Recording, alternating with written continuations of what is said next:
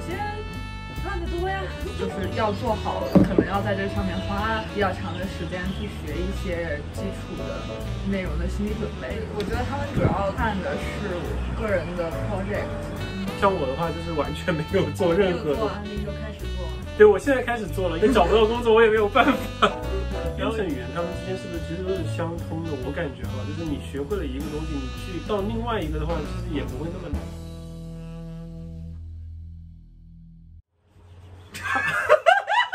你在这，我有点不太习惯。OK。One more time.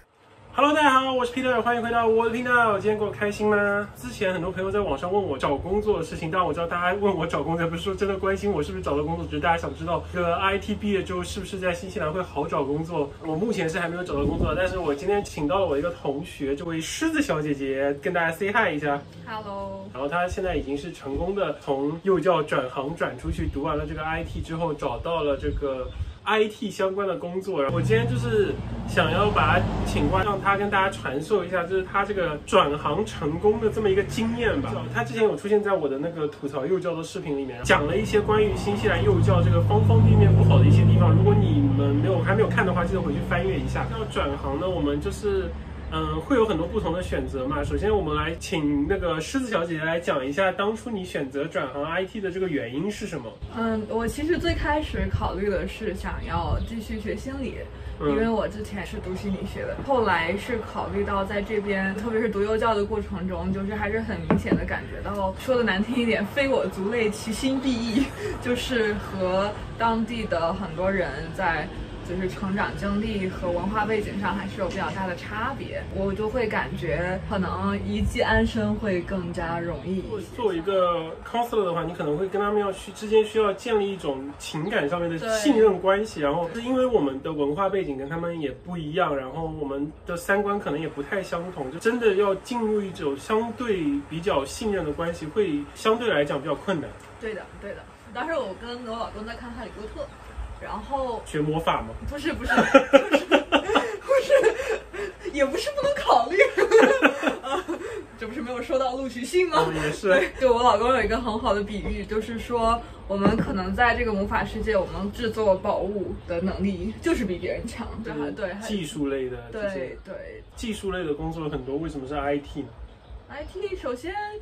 赚得多呀！嗯，对，其实其实我当时想转行 IT 也是，我觉得因为工作这个事情吧，我觉得很少很少吧，大概一万个人里面能有一个在做自己喜欢的事情就很不错了。大多数人其实就是不喜欢他们的工作，只是为了要赚钱，然后要满足自己的生活需求。那工作这个事情说白了，对于我来讲，我觉得是做一行恨一行的，所以就是会想找一个相对来讲可以赚钱多一点的工作。因为不是很多朋友担心说，就是学 IT 这个东西会很难嘛，然后就是，但我觉得。对你来说肯定我知道不难啊，因为我我自己是觉得就是学习还是蛮辛苦的。你会觉得就是这个东西是一个一定可以学得会的东西吗？因为我知道我我也不算笨的人，就是就是你会觉得就是一定要是比较聪明的人才能学吗？不会，我觉得你归根到底。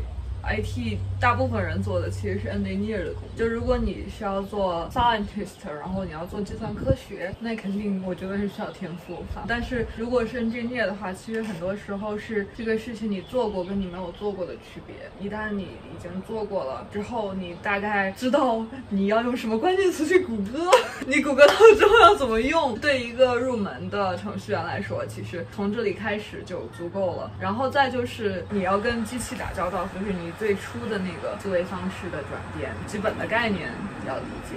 因为我自己学下来是觉得一开始还蛮难的，就我们也确实有一些同学就是学了一半退学了嘛，嗯、然后还有一些同学其实你看他确实是毕业了，但是其实他可能屁也不会。就有那种同学啊，就是你会有建议说，就是什么人你觉得不要建议他们来学这个的？我觉得如果你看到这个就烦，就不要做这个。对，我觉得就是如果你觉得看到代码写代码给你写一个东西，你就是提不起你任何兴趣，我觉得除非你就是真的有一个聪明的脑袋瓜子可以帮你就是硬扯上去，否则的话你学这个你会非常非常的痛苦的。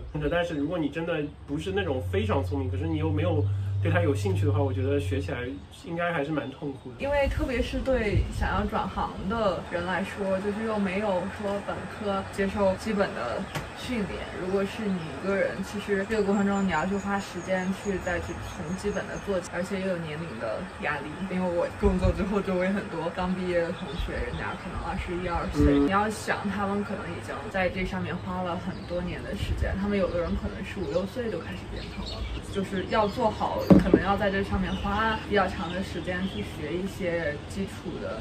内容的心理准备，这个过程中其实是比较孤独。因为我知道现在因为那个新冠疫情的影响，很多公司倒闭了嘛，那现在找工作很难。你像我毕业已经三个月了，我还没有找到工作。但是你就是在我们所有人都还在上学，就是我们要二月份才毕业，可是你已经九月份的时候就已经找好工作，就很厉害哈。然后就是我想问一下，就是你觉得你可以这么快找到工作，有没有什么就是技巧想要传授给大家的经验？我觉得的，现在这个公司会收我的。嗯，我觉得他们主要看的是我个人的 project，基本上我面试的时候也是围绕这个在说，不管是技术方面的问题，还是 behavior 方面的问题。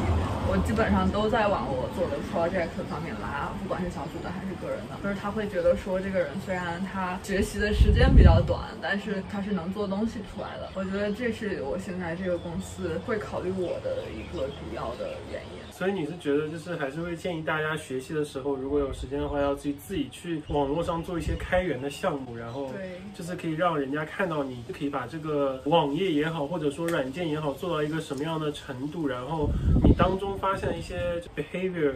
problem 中文怎么讲？可能是一些你的习惯性格吧。你的一些处理问题的方法，就是这个项目当中发生的事情，怎么体现了你一个怎么去处理问题、怎么去解决问题的一个能力吧。对，就是你要就是有几个这样子的故事准备给雇主。我总结的对吗？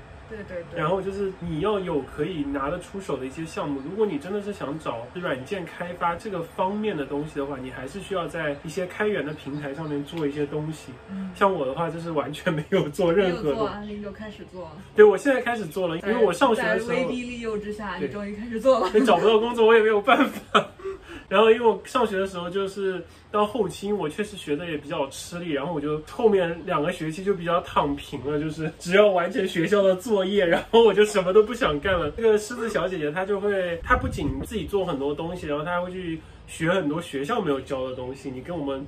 讲一下，就是你学的那些东西，你怎么去挑选你学的东西？然后你觉得学什么东西会对你找工作会比较有用？我刚开始就是自己花时间去学，是我还在做幼教的时候。那个时候我是先学的 Python，就学 Python 那段时间，就是虽然没有用 Python 做出来一个像样的东西，但是一些基本的概念，从最基本的呃函数，嗯 方法 class object 这些东西，就是那些熟悉了一些那些语法的东西。对对对，学了一段时间的 Python 之后，就在。刷 leetecode 说实话，我后来面试没有任何一个公司问我做 LeetCode 的问题。但当然，这个是新西兰的一个状况。如果你是北美或者是澳洲、亚洲别的地方的话，我觉得欧洲他们都还是会用蛮多 leetecode 的东西。对对对。但是我觉得 leetecode 的那段时间是当我熟悉了语言的标准库，做了那个之后，又在 Coursera 上做了算法的那个课。那个时候都是就是坐下来，反正囫囵吞枣。可是现在对你的找工作会有帮助吗？很难说会有直接的帮助，但是会首先语言的特性会比较熟悉一点，之后你再去学新的语言会比较容易。再一个呢，就是因为你平时要跟程序员打交道，人家可能是读了很。时间，然后人家的用的那些词汇语言，我觉得那个阶段就是帮助我能跟人能跟人同事说上话了，就是 就是我觉得对转行来说，这其实也是一个难题，就是刚开始觉得不知道人家在说什么，后来多上一些课之后，就是熟悉他们用的语言，我觉得这也是蛮重要的一步，然后就上学了嘛。就开始了，所以你觉得就是如果让大家学的话，就是一定要首先就是学自己感兴趣的东西嘛。对。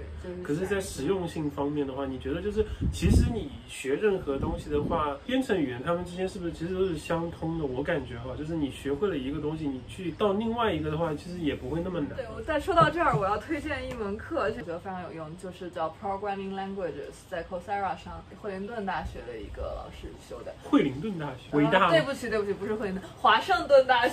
对不起，我在新西兰村里待久了。有没有惠灵顿大学是什么大学？呃，华盛顿大学的一个。关于这一部分，我再问一下，就是说，呃，你是觉得就是关于 functional programming 和 object oriented programming，就是两个，你是建议大家都去涉猎一下，感受一下吗？还是说看自己感觉，就是盯着一个就好？我觉得作为一个程序员。